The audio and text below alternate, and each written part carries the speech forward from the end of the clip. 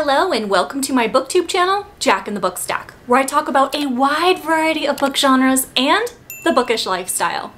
And I don't know where you are located, but here in Phoenix, Arizona, we are well into the triple digits for heat. It is suffocating already, and it's hard to believe that the first day of summer is not until Thursday, June 20th.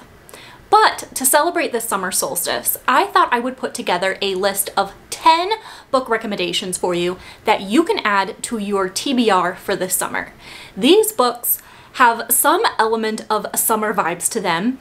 And going into this, I was really focusing on descriptions of heat and settings that were like stifling and hot and just give me those kind of vibes because that's what I focus on when I think of summer because I'm in Arizona.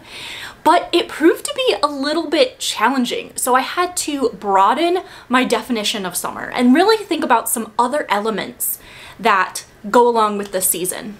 As we get into my 10 book recommendations, I want to hear from you in the comments down below. What are some things in books that make you think of summertime beyond just heat what makes you think of summer? Because I really had to push my creativity to come up with this list. Number one on my list of summer book recommendations for you, we have The Great Gatsby, a classic by F. Scott Fitzgerald that definitely has those summer heat vibes. I think a lot of us, at least in the US, had to read The Great Gatsby in school and write essays on it, a lot of times focusing on the symbolism in the book because there is a lot of it. But one in particular is the heat. The heat in The Great Gatsby is constantly referred to, and it symbolizes rising tensions between our characters and escalating situations. So this is something that definitely captures what I was talking about with a stifling heat that just makes you feel like you want to jump out of your skin. You're restless, but you're hot and sweaty. I picture a lot of humidity here as well. So this has great summer vibes and definitely I can relate to the heat in this book. And you know what's interesting, because I did read this in school, but I reread it again as an adult and I got so much more meaning out of this than just the fun, 1920s, you know, the roaring 20s vibe was really cool, but I got so much more out of it.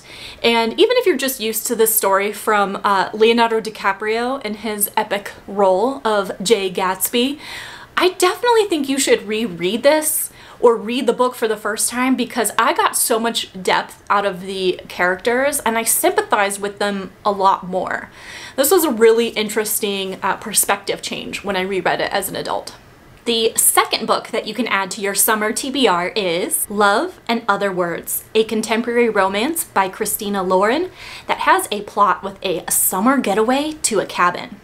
I know a lot of people associate summer with the beach, but for me, I love a cabin setting. In fact, I actually did a dedicated video with recommendations for books across several different genres that have a cabin setting because it's one of my favorite and I love the atmosphere particularly in the summer. So Love and Other Words has two timelines. We follow our main character as an adult uh, she is in a medical residency, she's engaged to a financially secure man, uh, but she's guarding her heart a little bit. And she runs into her old flame, her childhood sweetheart.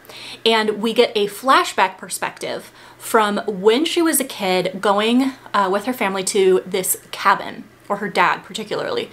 Uh, to their summer cabin. So she would spend weekends and summers there. And of course, there was a boy there was a boy.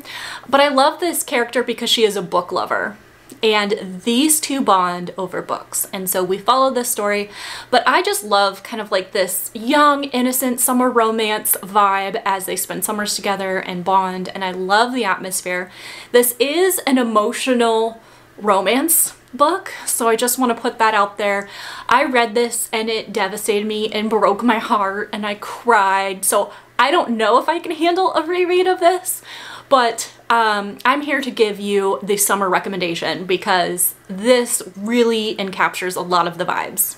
The third book on my list also captures this kind of mountain atmosphere. The book recommendation is All Roads Lead Here, a contemporary romance by Mariana Zapata that has small town vibes in a mountain setting.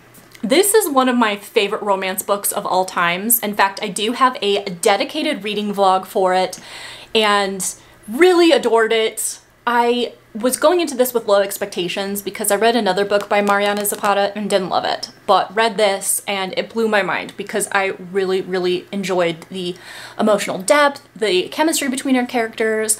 I love that there's an age gap, but it's not a creepy age gap in my opinion.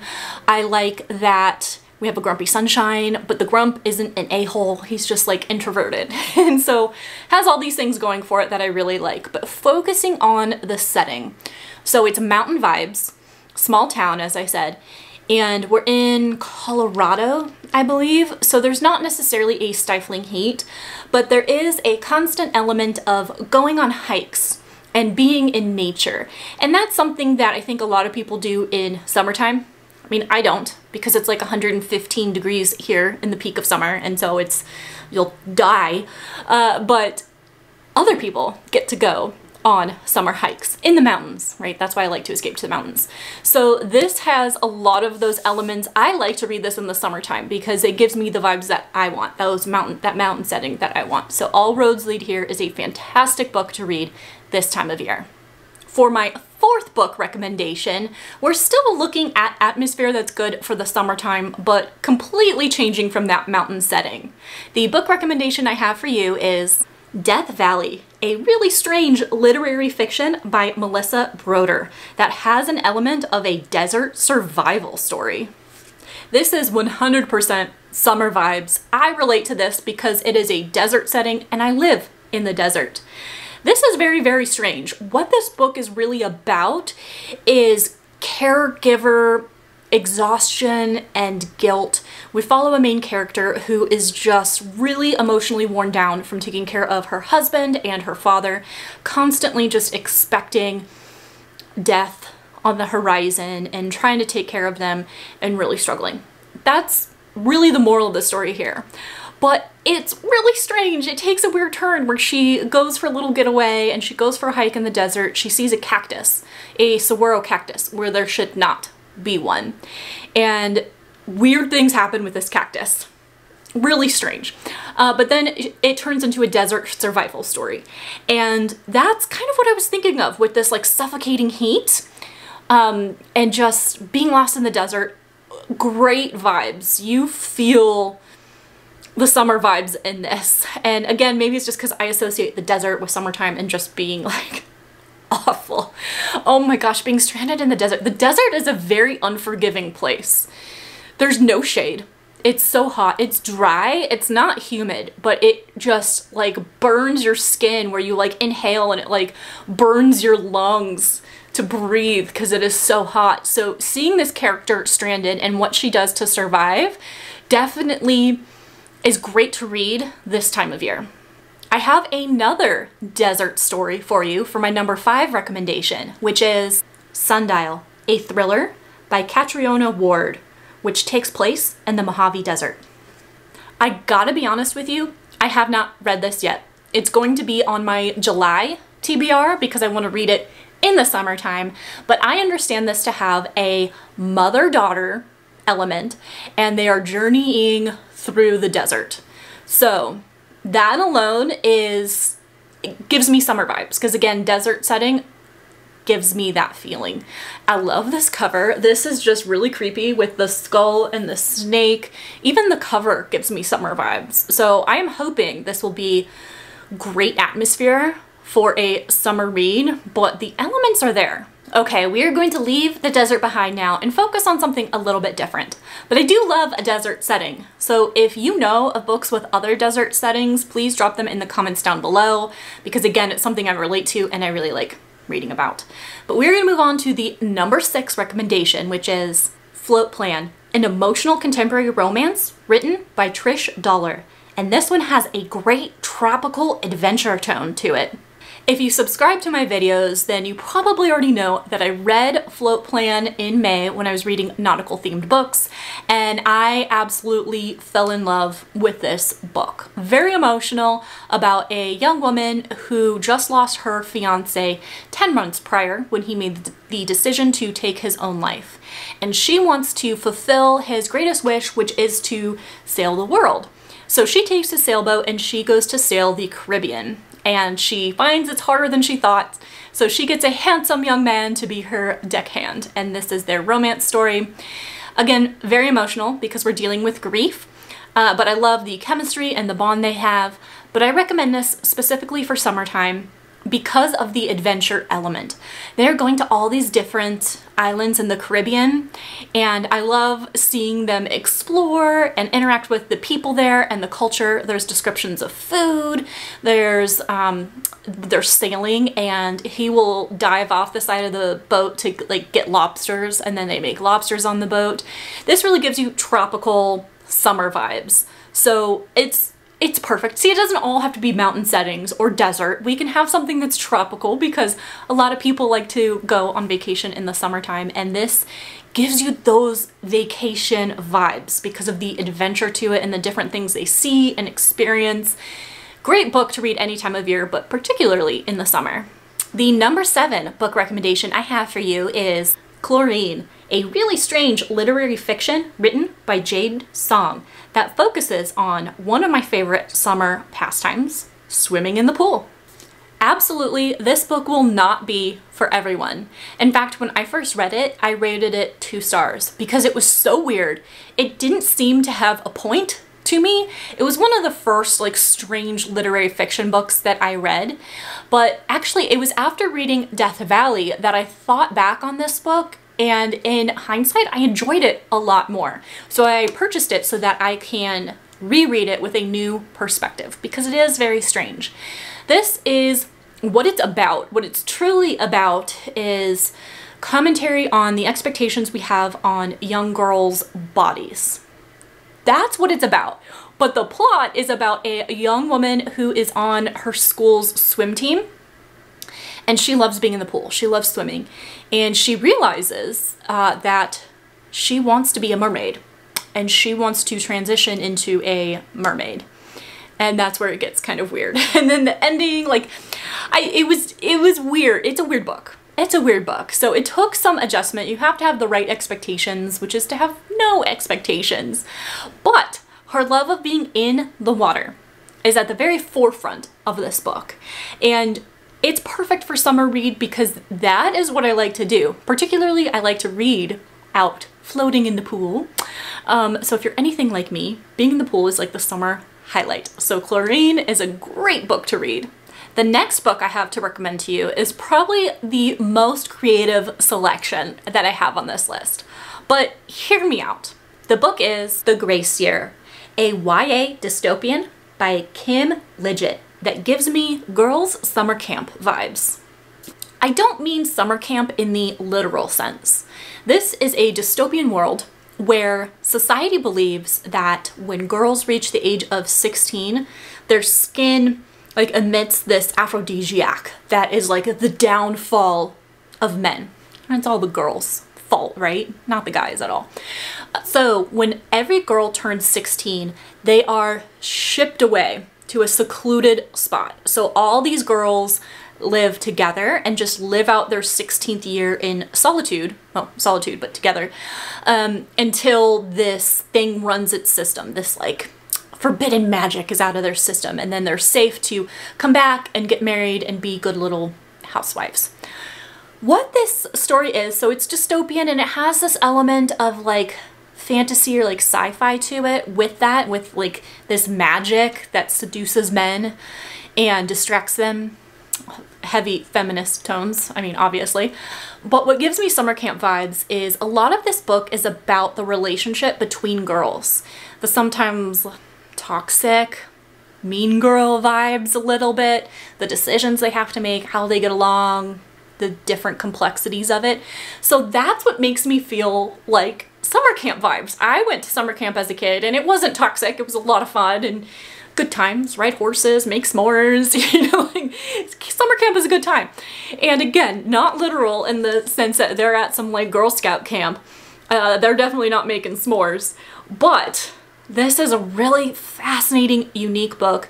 And if you're one of those that gets kind of like turned away from YA labeled books, this is definitely one that you can read at any age and it's fascinating. I think it's just labeled as YA because all of our characters are 16 years old, but it, I mean, you should always keep an open mind, but this is definitely one that readers of all ages can enjoy, and I encourage you to read it in the summer.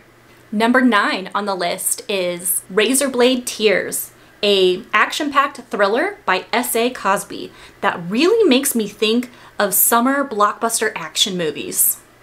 Razorblade Tears is a rare example of a book that I think would be excellent as a movie.